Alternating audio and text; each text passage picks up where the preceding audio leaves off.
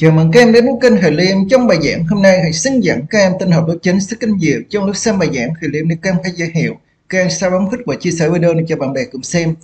Giờ hôm nay mình sẽ học chủ đề A máy tính và cộng đồng vai trò của máy tính trong đời sống bài số 1 bộ xử lý thông tin ở quanh ta.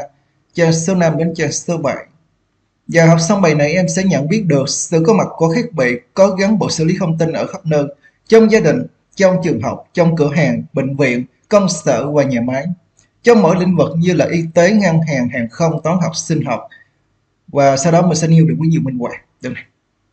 Chứ không mà sẽ câu hỏi đầu bài khi chụp ảnh bằng điện thoại không minh nếu chụp ở nơi thiếu sáng điện thoại sẽ tự động nháy đèn led để đủ ánh sáng cho thời điểm chụp. Theo em điện thoại không minh có nhận biết được mức độ ánh sáng của môi trường không? Nó có phải xử lý thông tin về mức độ ánh sáng của môi trường không?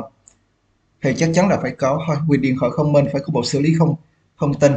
Đúng này như là mình thấy là điện thoại minh sẽ có nhận biết được mức độ ánh sáng của môi trường. Sau đó điện thoại sẽ phải chuyển thông tin cho bộ xử lý thông tin về mức độ ánh sáng của môi trường.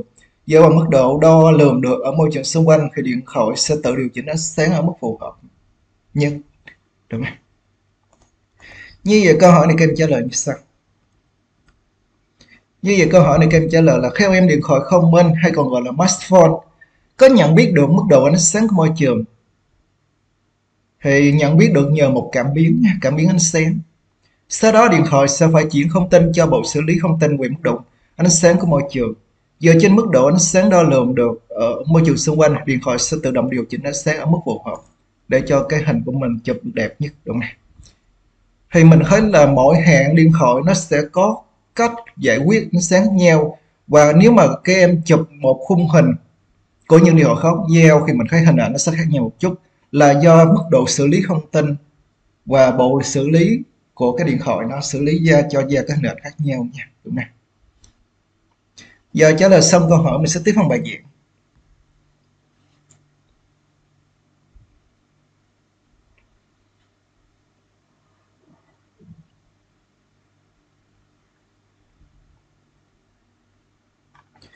Giờ tiếp theo mình học phần số 1 thiết bị có bộ xử lý không tin hiện diện ở khắp nơi. Như em đã biết là trong máy tính có nhân có bộ xử lý không tin gọi là bộ xử lý trung tâm CPU hay còn gọi là bộ vi, bộ vi xử lý.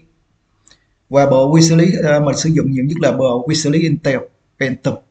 Uh, Intel hiện nay thì mình thấy là có Core i3, i5, i7 đúng không?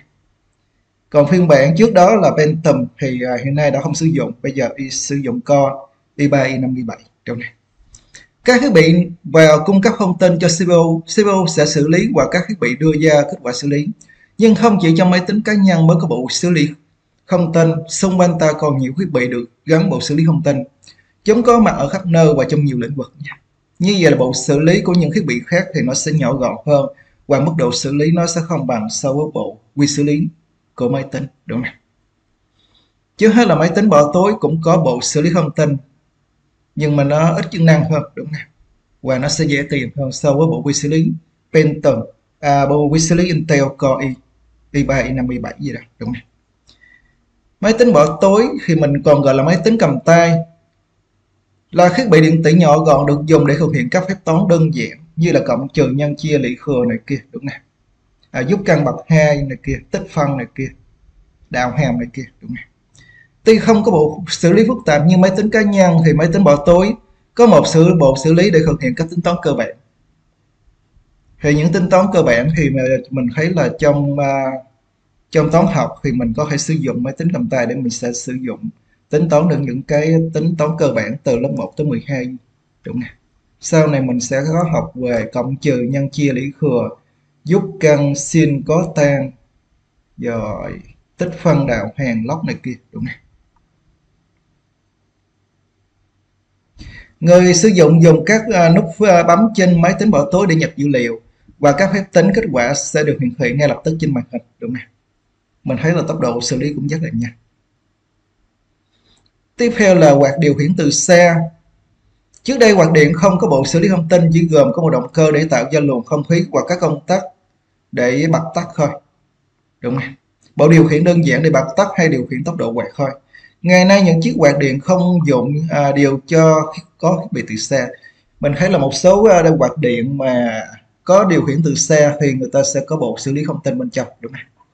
Người ta không cần tới xét uh, chiếc quạt để bấm trên thân máy như trước, ta có thể ra lệnh bật tắt cho tốc độ hẹn giờ bằng cái điều khiển nhỏ cầm tay. Nhờ có bộ xử lý thông tin trong quạt mà ta có thể điều khiển được hoạt động máy theo có tiện lợi.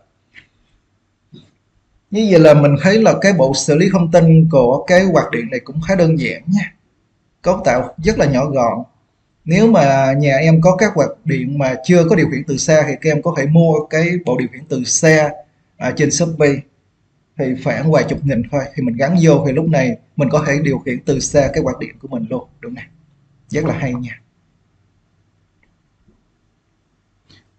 Tiếp theo mình sẽ nói về tivi thì TV thì chắc chắn là phải có điều khiển từ xa rồi thì có điều khiển từ xa thì có bộ xử lý thông tin, đúng không? Như vậy là khi nhấn vào các nút trên điều khiển TV từ xa, ta đang cung cấp thông tin đầu vào cho bộ xử lý thông tin của TV tùy theo thông tin đầu vào mà kết quả xử lý là bật tắt TV sự chuyển kênh, tăng giảm âm lượng, thay đổi tỷ lệ hiển thị màn hình, đúng không?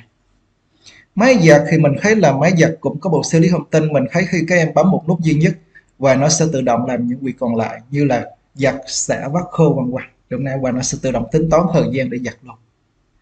Như vậy chắc chắn phải có bộ xử lý thông tin nó mới có xử lý được thông tin đúng không? như vậy máy giặt là vật dụng phổ biến trong cuộc sống và trong máy giặt cũng có bộ xử lý thông tin. Người dùng có thể đặt chế độ giặt như là chọn mức nước chọn thời gian cho các chế độ. Có thể là giặt xả vắt. Mình có thể là có chất độ chứ mình thấy là máy giặt hiện nay có rất nhiều chế độ như là à, giặt nhanh nè giặt nhẹ là giặt mạnh nè à, giật uh, ờ, mền này kia đúng không giật chân mền này kia có rất nhiều chế độ. Máy giặt sẽ tự động giặt theo các chế độ đã cài đặt của người dùng và nó sẽ tự động tắt khi giặt xong luôn đúng không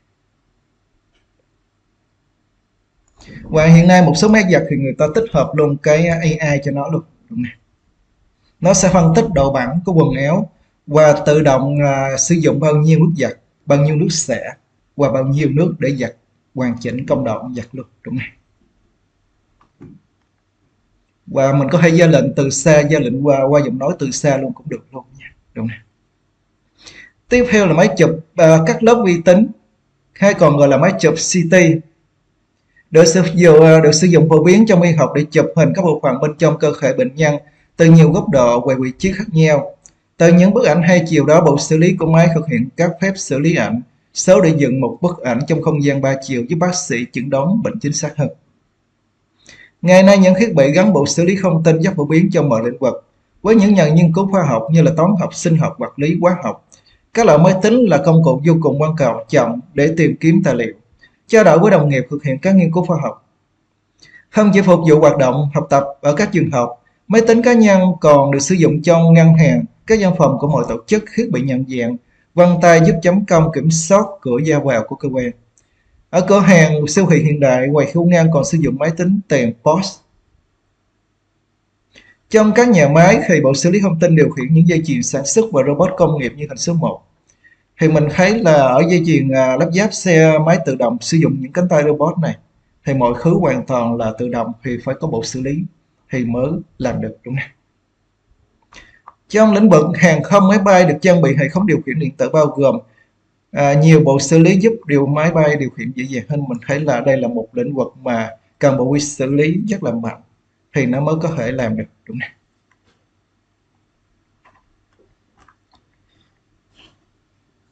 Giờ tiếp theo mình sẽ học phần số 2 một số thiết bị không minh. Ngày nay xung quanh chúng ta xuất hiện nhiều thiết bị có bộ xử lý thông tin với tên gọi kèm theo từ không minh ví dụ như là điện thoại không minh smartphone, đồng hồ không minh, TV không minh, smart TV đúng không? đã trở nên quen thuộc với mọi người. Mỗi thiết bị đó có những tính năng đặc biệt hơn so với trước đây. Nó thường có khả năng kết nối được với thiết bị khác và xử lý được một vài loại thông tin về trạng thái của môi trường như sự chuyển động, nhiệt độ, mức độ của ánh sáng, cung cấp thông tin đầu vào của bộ xử lý của thiết bị thông minh là những thiết bị điện tử có cảm nhận trạng thái của môi trường giúp gọi tắt là cảm biến. Như vậy mình thấy là với một cái điện thoại thông minh thì hiện nay chúng ta làm được rất nhiều việc tương đương với một cái máy tính à, máy vi tính nhỏ đúng không? Và à, à, tốc độ xử lý cũng rất là cao tương đương với máy vi tính rồi cảm biến ánh sáng của điện thoại thông minh nhận biết được mức độ sáng của môi trường và chuyển thông tin này cho bộ xử lý thông tin trên đồng hồ không minh có nhiều cảm biến trong đó có các cảm biến về nhịp tim chuyển động và nhiệt độ. Do vậy đồng hồ không minh có nhiều tính năng theo dõi sức khỏe như là đo và cảnh báo khi phát hiện nhịp tim bất thường. Theo dõi việc luyện tập thể thao, đó nồng độ oxygen trong máy. Thì cái máy này người ta gọi là máy SpO2 nha. Giúp đo nồng độ oxygen trong máy. Hoặc theo dõi lộ trình và khoảng cách di chuyển, tính lượng calo tiêu thụ. Trong những máy giặt hiện đại thì bộ xử lý thông tin dựa trên không tin đầu vào do cảm biến cung cấp để tự động thiết lập chế độ giặt phù hợp, tự động khiên hoặc bớt nước giặt sẽ qua điều chỉnh thời gian giặt phù hợp. Nhiều gia đình à, gia đình đã sử dụng TV thông minh, đó là TV có khả năng kết nối với máy, kết nối internet, kết nối với điện thoại di động và điều khiển được điều bằng điều thoại di động và bằng giọng nói.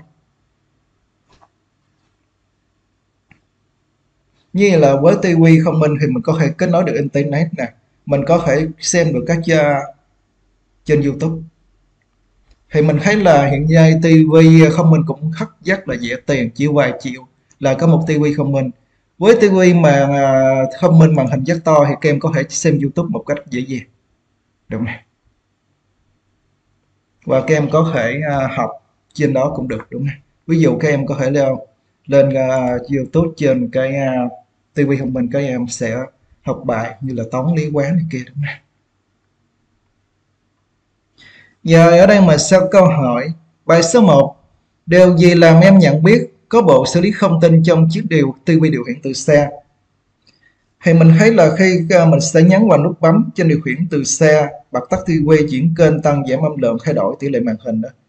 Thì, à, thì nó thay đổi được. Thì có nghĩa là có bộ xử lý không tin. Thì nó mới tiếp nhận không tin từ cái chiếc điều khiển và sẽ thay đổi thông tin trên tivi đúng không? Như về câu bài số 1 các em trả lời như sau. Như vậy là em nhận biết có bộ xử lý thông tin trong chiếc TV điều khiển từ được từ xa là khi nhấn vào các nút bấm trên thiết bị điều khiển TV từ xa tao có thể bật tắt TV nè, chuyển kênh là tăng giảm âm lượng nè, thay đổi tỷ lệ màn hình đúng nè. Giờ trả lời xong bài số 1 và sẽ đến câu hỏi bài số 2.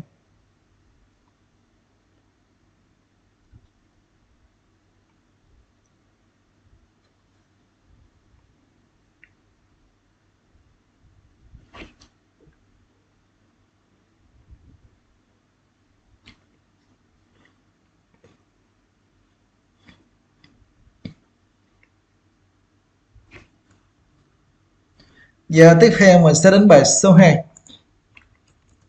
Câu hỏi bài số 2.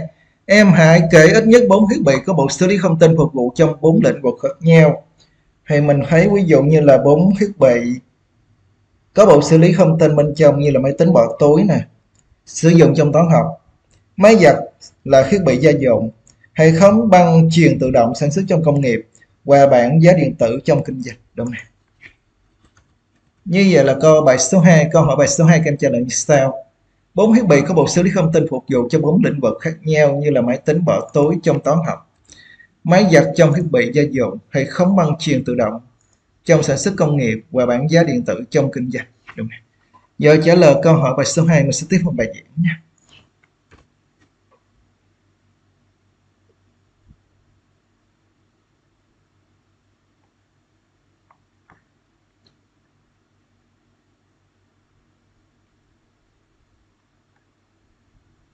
Giờ tiếp theo mình sẽ có câu hỏi. Theo em thì máy đo huyết áp điện tử tự động có phải là thiết bị có bộ xử lý thông tin hay không? Thì mình thấy chắc chắn là cái gì mà tự động đều phải có bộ xử lý thông tin. Bên trong thì nó mới xử lý thông tin mới tự động được, đúng không? Như vậy câu này các em trả lời như sau. Như là theo em thì máy đo huyết áp điện tử tự động là thiết bị có bộ xử lý thông tin. quy tổng bộ quá trình đo của máy đo huyết áp điện tử được thực hiện hoàn toàn tự động, đúng không? Và tín hiệu cảm biến áp suất sẽ được xử lý và biến đổi để đưa ra kết quả đo, tức hợp cho mình xem luôn đúng nè, rất là nhanh. Giờ trả lời xong câu hỏi, mình sẽ tiếp phần bài giảng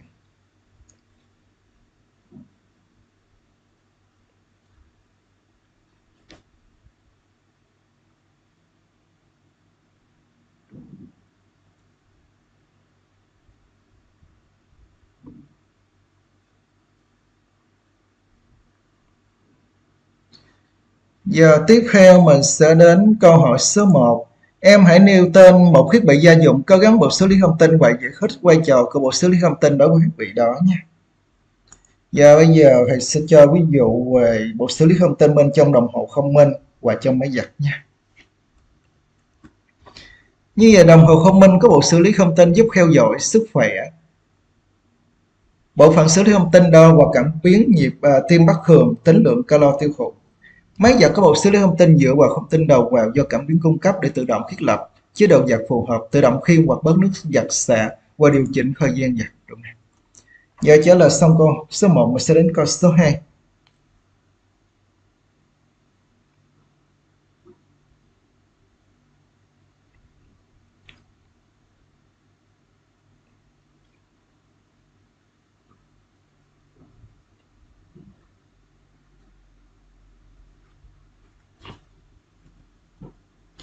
Tiếp theo mình sẽ đến câu hỏi số 2. Vì sao có thể nói rằng các thiết bị có bộ xử lý thông tin có mặt ở khắp nơi? Thì mình thấy là mình quan sát khắp nơi thì mình thấy là xung quanh chúng ta hầu như là trong gia đình, trong trường học, trong cửa hàng, trong bệnh viện, công sở, nhà máy hầu như chỗ nào mình thấy cũng có những thiết bị mà có bộ xử lý thông tin mình chặt đúng không? Như vậy câu số 2 các em trả lời như sau. Những thiết bị có gắn bộ xử lý thông tin có mặt trong gia đình, trường học, cửa hàng, bệnh viện, công sở, nhà máy và khắp nơi xung quanh ta. Trong hầu hết những lĩnh vực của khoa học và đời sống từ y tế, ngân hàng, hàng không cho đến những ngành khoa học như là toán học, sinh học, những thiết bị có gắn bộ xử lý thông tin đều đóng vai trò quan trọng. Đúng. Giờ dạ, trả lời xong câu số 2 mình sẽ tiếp phần bài diễn.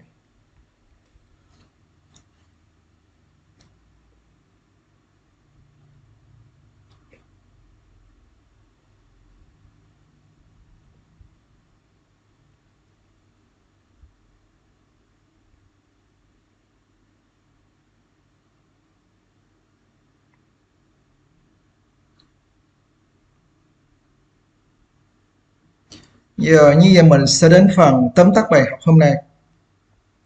Những thiết bị có gắn bộ xử lý thông tin có mặt trong gia đình, trường học, cửa hàng bệnh viện, công sở, nhà máy và khắp nơi xung quanh ta. Trong hầu hết những lĩnh vực của khoa học và đời sống từ y tế, ngân hàng, hàng không cho đến những ngành khoa học như là toán học, sinh học. Những thiết bị có gắn bộ xử lý thông tin đều đóng vai trò quan trọng. Được này. Và như là mình xong bài giảng hôm nay nếu các em thấy dạng thì bấm khích chia sẻ cho bạn bè cùng xem và em nào chưa đăng ký kênh Thầy Liêm, các em sẽ bấm nút đăng ký bấm chuông để xem bài giảng mới nhất Thầy Liêm. Thầy chúc các em học tốt, tạm biệt các em nhé.